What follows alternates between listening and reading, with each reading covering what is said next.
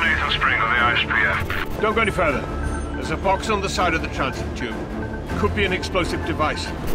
Chief Superintendent Priya Basu. If you harm my officer, I won't be able to protect you. Inspector Paul Bailey. But the station's still gonna get blown up, right? One thing at a time, Paul. Straight up. I mean, it does seem a pretty major thing. Inspector Colin Devis. I forgot how much I missed this. Miss what? A car chase! Woohoo!